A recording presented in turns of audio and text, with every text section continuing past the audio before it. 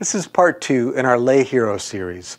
We're reading Nehemiah's memoir, both because it's very interesting and because in it we find five principles for lay heroes. Lay people, like yourself, that God uses to make a significant difference. At the end of part one, I left you with a question. I, I said this You may not see yourself as a lay hero, but what if God does? What if what if God wants to overcome your lack of qualifications and your lack of resources and your hesitancy to, to live with a heart that hurts? What if God wants to make a difference through you? And what if God wants to do this in a way that you see and experience a side of Jesus that many people miss? What if when God looks at you, he sees a lay hero? Well, we're going to continue in Nehemiah's story today and find the next thing that a lay hero would do. Verse 4 of chapter 1. When I heard these words, I sat down and wept. I mourned for a number of days, fasting and praying before the God of the heavens. I said, Lord, the God of the heavens, the great and awe inspiring God who keeps his gracious covenant with those who love him and keeps his commands, let your eyes be open and your ears be attentive to your servant's prayer that I now pray to you day and night for your servants, the Israelites. I confess the sins we've committed against you. Both I and my father's family have sinned. We have acted corruptly toward you and have not kept the commands, statutes, and ordinances you gave your servant Moses. Please remember what you commanded your servant Moses. If you are unfaithful, I will scatter you among the peoples. But if you return to me and carefully observe my commands, even though your exiles were banished to the farthest horizon, I will gather them from there and bring them to the place where I chose for my name to dwell. They are your servants and your people. You redeem them by your great power and strong hand. Please, Lord, let your ear be attentive to the prayer of your servant and to that of your servants who delight to revere your name. Nehemiah's prayer basically went like this. It started with God, you are, right? God, you are the awe inspiring God. God, you are the great God. God, you're the God who keeps his commandment.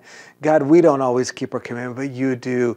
And then he moves on and, and Nehemiah prays, God, please be attentive to my prayer. And in the middle part, he says, God, you were right. You were right to exile us. We were unfaithful to you, and we broke the covenant. But then, as he comes down the back end of his prayer, Nehemiah says, Well, we are returning to you now, God. So please remember your promise to restore us. But then, Nehemiah's prayer takes an unexpected turn. Let's see how he finishes his prayer. This is verse 11, the second half. Give your servant success today and grant him compassion in the presence of this man. At that time, I was the king's cupbearer. Nehemiah says, God, give, give me success and give me favor in the eyes of this man, this man being the king, King Artaxerxes, that he works for. Nehemiah, you could say it this way Nehemiah is praying and said, God, give me an opportunity to do something. Give me an opportunity to go to the king and ask for an opportunity to do something about this problem. Nehemiah isn't just praying that God will fix the problem. Nehemiah is praying, God, give me, your servant, success today. Give me compassion in the presence of this man. I'm going to ask for an opportunity. And that, that's a principle for us. The, the lay hero principle of part two is this a, a lay hero prays for an opportunity to do something about the problem. A lay hero prays for an opportunity to do something about the problem. In the book Visioneering, talking about this passage, it says this dreamers dream about things being different. Visionaries envision themselves making a difference. Dreamers think about how nice it would be for something to be done. Visionaries look for an opportunity to do something. Clearly, Nehemiah is acting more like a visionary. Nehemiah prayed for an opportunity, even though there was nothing he could do about the problem. I mean, think about it. He wasn't free to move to Jerusalem. He wasn't a wall builder by trade. He wasn't recruited by the citizens or leaders there. They didn't come to him and say, Well, Nehemiah, please, please come help us, right? And on top of that, the king had previously ordered the wall repairs to be stopped. Nehemiah didn't have enough money or resources to make a difference. And so you got to ask this question Was he crazy I mean, was Nehemiah crazy to pray like this? God, give me an opportunity to do something when he's so far away and isn't invited, doesn't have necessarily the skills, maybe. All he's got is, like we talked about in part one, tears. Was he crazy to pray like this? If, if you're a 10th grader and you're listening to me, if you're a 10th grader or, or you know maybe a little older a little younger than that but you're a teen and you're bothered by something that isn't right would you be crazy to pray for an opportunity to do something about the problem? I mean you don't have any resources really. You, you can't go you can't even drive right? Are, are you crazy to pray god give me an opportunity to do something about this problem? Hear me well no. No, that's not crazy. Praying when you don't have much by way of resources or skills or talent or t- treasure or whatever, no, praying for an opportunity, that, that's not crazy. Crazy, crazy is thinking that God let you feel the wrongness of the situation for no reason. That's crazy. Crazy is only wishing things were better. That's crazy. But praying, a lay hero kind of prayer, God, give me an opportunity to be part of the solution, that's not crazy. Back to that book I mentioned, Visioneering, he went on to say if you're a parent, you probably have a vision for your children. And instead of simply praying that they would become men and women of character, pray for opportunities to build their character, right? Build character into their lives. Your vision involves you. You have a role. You have a part to play. If you have a vision for unbelieving friends, don't simply pray that they'll be saved. Pray for an opportunity to speak to them about Christ. If you pray for an opportunity, more than likely you'll recognize it when God brings it along. So I want to encourage us to pray a God honoring lay hero prayer. Here's an outline of what that might look like a God honoring lay hero prayer. It has three parts you saw in, in Nehemiah's prayer. God, you are. A great vision for what to change in this world often starts with a great vision of just how great our God is. I remember reading Dallas Willard, he talked about that. He says, God loves to use people. I'm paraphrasing him, but he says, God loves to use people who have a vision, but that vision is a, a vision how good God is and how great He is and how good He is to let us live in His world. So a God honoring lay hero prayer begins with a God, you are. You're great. You're kind. You're a good creator, right? That kind of thing. But then moves on God, here's the situation. Here's what's going on. Here's what's, here's what's playing out. Here's the situation. And this isn't what you want. And I know it's not what you want. God, this is not your will that's being done here. That's the second big part of a lay hero's God honoring prayer. God, here's what's going on. And this isn't okay. This is not okay with you. It's not okay with me. And then third, God, please, please give me an opportunity to do something about it. And and, and the prayer I think continues with what it, you'll need in order to be able to do something whether it's some connections, some other resources. God, give me an opportunity and, and you fill in the rest of it. So Nehemiah prayed the prayer, right? Did he get his opportunity to ask the king for an opportunity to do something about the problem? Well, let's see.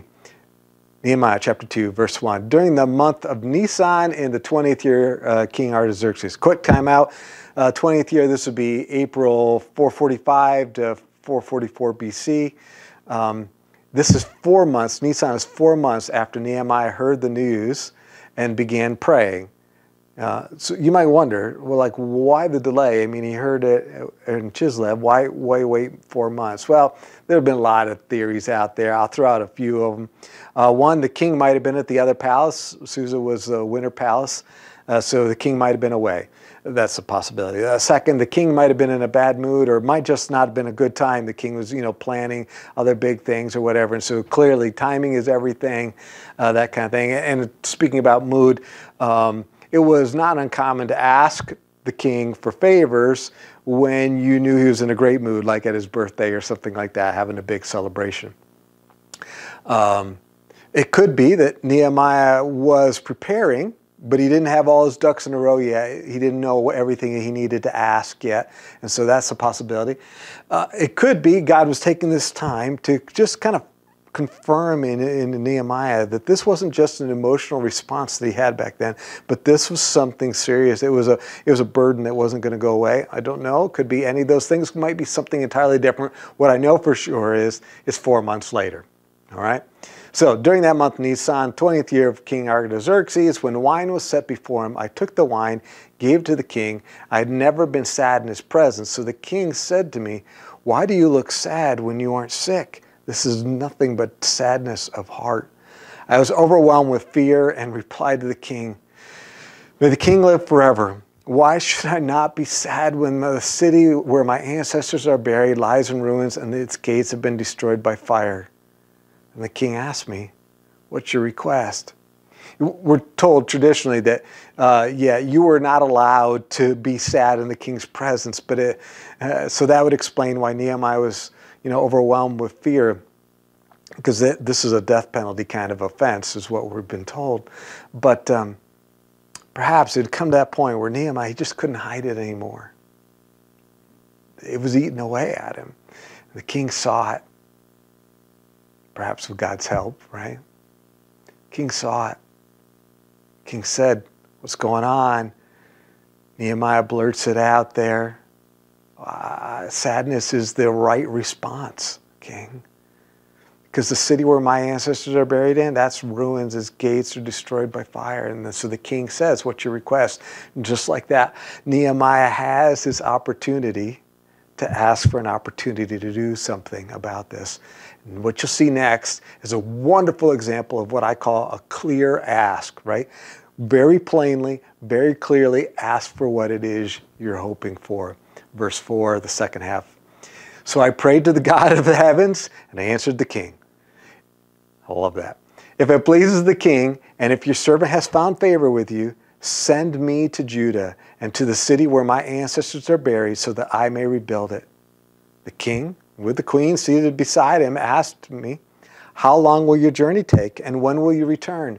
So I gave him a definite time, and it pleased the king to send me. I also said to the king, If it pleases the king, let me have letters written to the governors of the region west of the Euphrates River, so they will grant me safe passage until I reach Judah. And let me have a letter written to Asaph, keeper of the king's forest, so he'll give me the timber to rebuild the gates of the temple's fortress, the city wall, and a home where I'll live. That's a clear ask, right? You ask him for a leave of absence and he knows exactly how long, right? A specific amount of time. He's asking for travel permits, he's asking for timber, he's asking for housing, right? No, ne- Nehemiah, think about this. He, he knew how long he was going to be gone. He knew the name of the guy in charge of the forest, Asaph there, right? He, Nehemiah had planned for this moment. He had planned for this moment that he, God was going to give him the opportunity that he was asking God to give him, and God was going to give him that favor for the king, and so he was planned, prepared for that moment. Well, how did it turn out? Verse 8, second half. The king granted my requests, for the gracious hand of my God was on me. I went to the governors of the region on the west of the Euphrates, gave them the king's letters. The king had also sent officers of the infantry and cavalry with me. And so it began. So it began. You ever play, you know, with somebody else or just in your own mind a little game of what if? Like you wonder, like, what, what if I hadn't done this? Or what if I had done this? We, we were recording a vi- another video this week and I, I had huge blooper in it, but we didn't realize it until after it was all done and the other people I was recording with had left. And so I had to call them back and say, can you come? We got to do this all over again. And I thought about that. What if, what if I had checked the video before I dismiss the, the other participants? Yeah, what if? Now that's kind of a small version, right? But let's talk about Nehemiah for a second. What if? What if Nehemiah hadn't prayed? What, what, what if he hadn't prayed? What if Nehemiah just went to the king? You know, he heard the thing, and his heart was broken, highly emotional, poof, and he went. He just went to the king. What if he hadn't prayed? I'm pretty sure if Nehemiah was here, he would tell you if he hadn't prayed, this would this would not have turned out this way. He would not have had the king's favor. Nehemiah said, remember, the, God's gracious hand was on me, right? The king granted my request, for the gracious hand of my God was on me. If Nehemiah had not prayed, this story would have a very different ending, and this book would be a lot shorter, I have a feeling. What if Nehemiah had prayed, but he hadn't planned? He, he, didn't, he hadn't done any research. He didn't know that Asaph was the guy in charge of timber uh, on that side of the world, right? What, what, if he hadn't planned and thought it out, like how long this would take him and to travel? He hadn't didn't have you know map it out. You know he couldn't just punch this into Google and you know and get directions and all that. What, what if he hadn't planned? Taking the time to figure it out, how long I'm going to be gone. Again, I think the story would have a different ending. I think the king would have been like, yeah, uh, maybe not, maybe yes, maybe, right? Or, or third, what if? What if Nehemiah had prayed, but instead of praying, God, I want, I, I want to do something, you know, give me an opportunity. What if Nehemiah had only prayed for God to do a miracle in Jerusalem? God, you got to do something about that problem there. Nehemiah was intent on staying, you know, uh, in Susa, which would have made sense, right? That was, I mean, he didn't have time off. There was, right? What if Nehemiah had only prayed for God to do a miracle in Jerusalem? God might have done the miracle, but Nehemiah wouldn't have had any part in the story, and Nehemiah wouldn't have had the experience of God that he is about to have. Be no story for Nehemiah no inspiring story for us, no example for us. Right? And, and, and I think there's more. Well, if, but what if, right? What if Nehemiah had only prayed for God to do a miracle in Jerusalem? Well, that's Nehemiah. Let's talk about you for just a moment. Are you willing to pray that God will give you an opportunity to personally do something about this thing that's not okay? You, you name it between you and God, this, this problem, this thing that you see? Are you willing to pray that God will give you an opportunity to personally be part of the solution?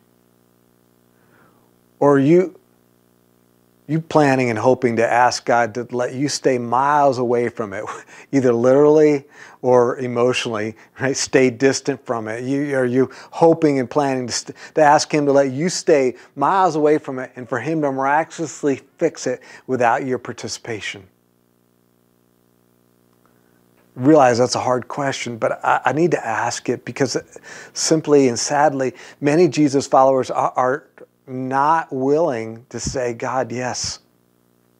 Give me an opportunity to be part of the solution. Give me an opportunity to be personally involved in this. Many Jesus followers are not only not willing to ask for an opportunity to personally do something about the problem, when God comes to them and gives them basically an assignment, and says, I want you to do something about this problem. Many Jesus followers, unfortunately, they want to know all the details before they're willing to say yes to God's assignment.